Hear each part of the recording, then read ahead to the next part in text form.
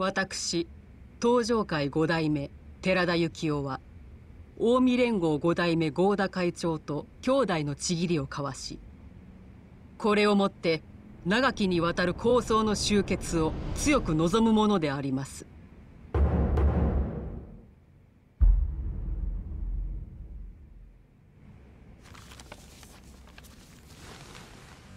まさかこの書状を関西に持っていくつもりですか？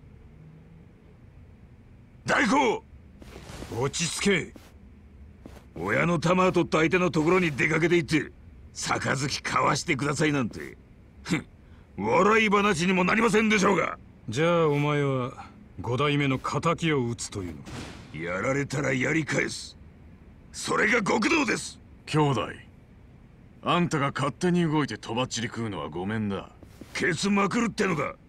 戦争すんにも金が必要なんだよ金金金っておめえには極道のメンツがねえのか！おだまり。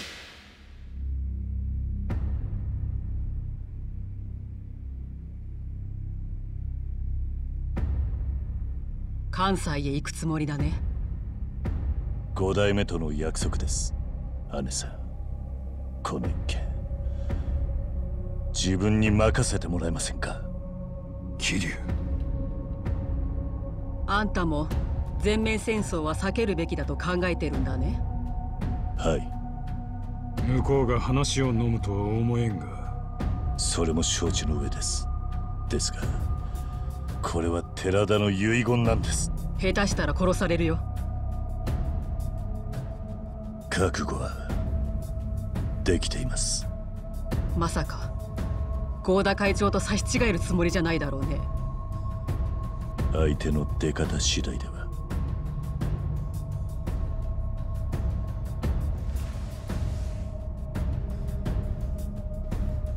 あんたまだ11年前の堂島殺しのことにこだわってるのかい？あれは錦山がやったことだろあんたの責任じゃない。錦とはガキの頃から一緒でした血のつながった兄弟よりも絆は強い。錦の残した借りは自分のものです。止めても無駄だね。すみません。分かった。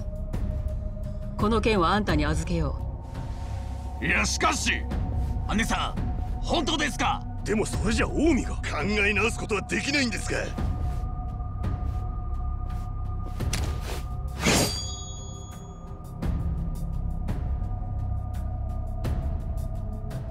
桐生は登場会のために命かけるって言ってんだ。文句あるやつは今前に出な。杯の話が決裂したら後戻りはできない。東と西の全面戦争だよ。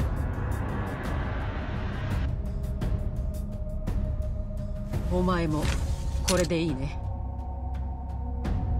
はい。ですが一つだけ頼みがあります。言ってごらん。関西に行く前にどうしても会いたい人間がいます。誰だい？堂島大吾です。堂島組長とあなたの息子さんです。どうしてだ？寺田が死に登場会は柱を失った。今の登場会を立て直せるのは奴を置いて他にはいません。あいつは暴力や権力に絶対に屈しない男です。今の登場会にはそうした男が必要です。遺言代わりってことかい。そう取ってもらって構いません。あんたですから関西に行く前にどうしても大悟に会っておきたいんです。よした方がいい。なぜですか？大悟はもう昔のあの子じゃない。何があったんですか？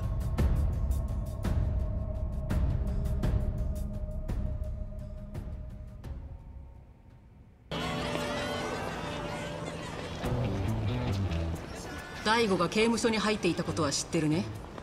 はい。5年前と昨きました。あんたが無所にいた頃の話さ。あいつは父親の堂島をあんたに殺されたと思って荒れていた。それでバカやらかしてね。バカ。関西に手を出したんだよ。それで捕まっちまったんだ。服役して今出所してカムロ町に帰ってきてるが毎日浴びるように酒飲んじゃバカみたいに遊んで暮らしているよ。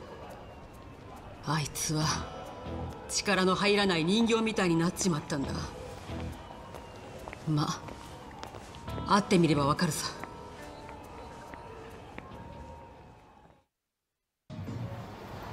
うん。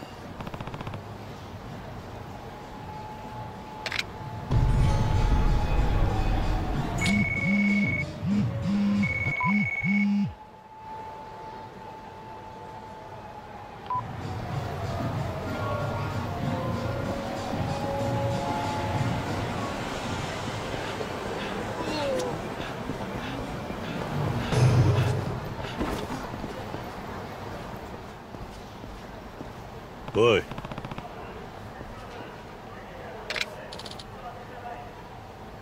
Hả?